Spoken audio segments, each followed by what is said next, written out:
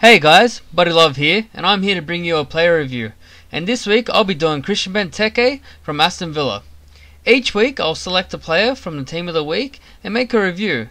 Now let's get straight into the video with some in-game stats.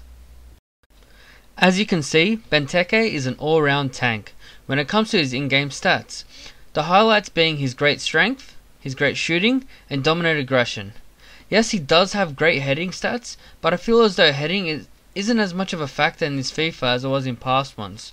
So I can't really take that into account, although they are unreal stats.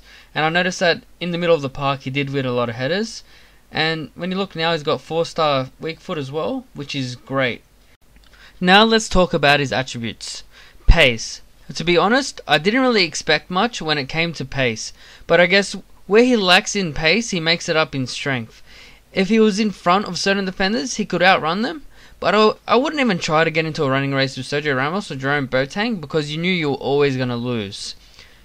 His shooting was was pretty good. I'm not going to lie, he was pretty clinical in front of goal.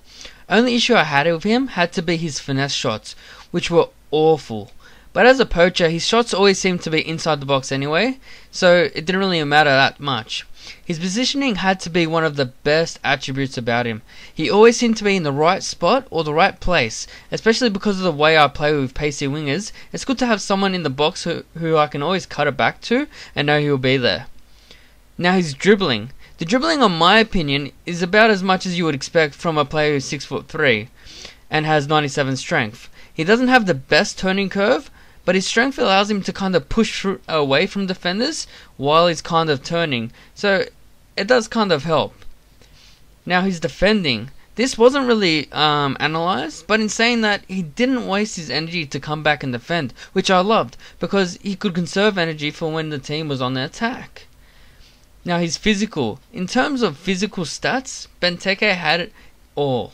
When it came to his strength, he could overpower players, and when it came to winning the ball back, his high aggression made it very easy to steal the ball off defenders in good position and be able to finish right there on the spot. Now his passing. This is probably a stat that really, really surprised me because his assist count was actually really high, whether it be a through ball along the ground or a through ball through the air. He tended to find my players rushing through close to pretty much every time. As my lone striker, being able to pass and have good creativity is a massive plus. That ensures that when my left or right wingers are making runs, they can be picked out. Now on to his pros and cons.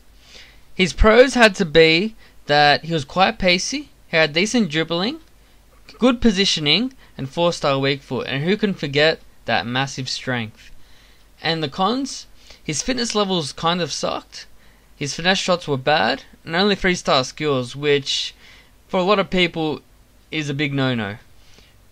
But overall, I'm going to give Benteke a 8 out of 10.